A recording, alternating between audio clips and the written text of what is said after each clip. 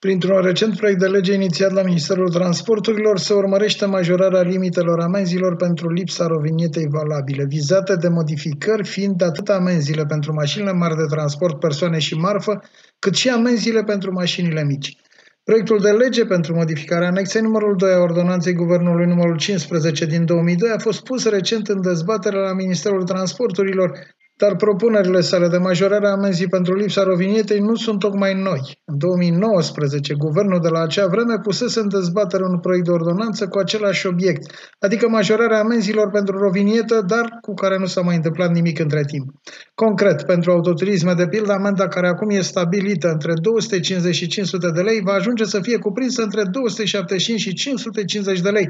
dacă proiectul va ajunge să fie adoptat în Parlament și va deveni lege. Lista completă a noilor tarife propuse de minister în proiect, comparativ cu cele actuale, le găsiți pe www.tvfăgăraș.ro. Din anul 2010 și până în prezent, cuantumul amenzilor a rămas la același nivel, în timp ce cuantumul tarifului de utilizare a rețelei de drumuri naționale din România exprimat în lei a crescut cu aproape 20%.